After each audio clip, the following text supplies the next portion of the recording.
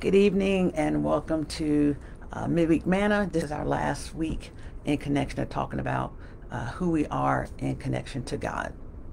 And so I have three more tonight and I have a bonus for you. So um, I hope this will bless someone and remind you and myself included of who we are uh, as a child of God. The first one is remind yourself that I am more than a conqueror. In Romans 8, uh, chapter 8, verse 37 tells us that we are more than conquerors. And so that means that whatever uh, situation or circumstance that come into your life, a challenge, that you are already a conqueror over it. It's just a matter of maneuvering through it and seeking God's wisdom and guidance to, to make it through. And as you look back over things you've gone through in your life, I'm sure you can see just how uh, much of a conqueror you really were in those situations. The second one is, I am fearfully and wonderfully made. Now, this is my favorite, one of my favorite scriptures in in the Bible, in Psalms 139, verses 13 through 14. So many times uh, we are told that we aren't any good, especially in the queer community, um, that we are not of God. But the scriptures tell us that we are fearfully and wonderfully made in the image of God. That means that you and I are made in God's image. And God doesn't make junk. God doesn't make mistakes. God created all of us to love us. The third one is I am loved.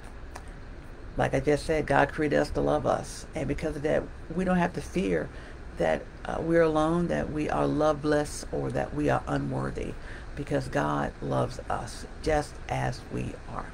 And your bonus is I am chosen. Another one of my favorite scriptures.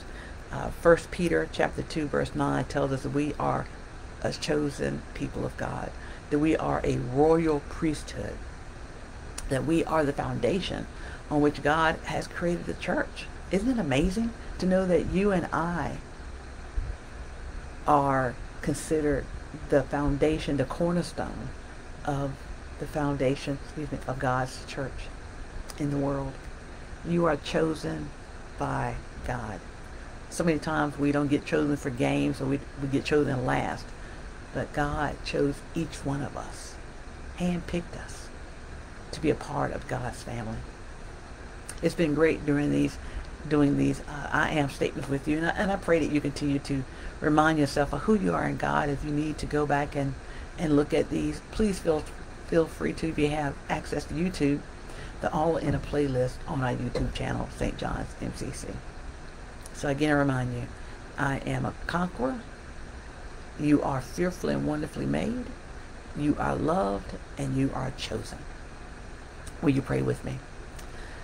God, in these moments, we need to be reminded of just who we are and whose we are uh, in our lives and in our world.